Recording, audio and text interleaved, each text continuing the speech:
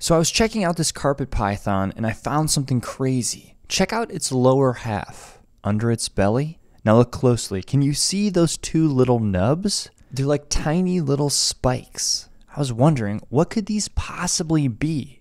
So I checked out a dyed snake specimen that just shows the bones. And look, I found something kind of strange. There are some extra tiny bones in the very same place. After some research, I figured it out. This is the ancestor to all present day snakes. It had legs. As snakes evolved, they lost those legs, but not entirely. Modern day snakes still have tiny little bones in their bodies left over from where their legs used to be.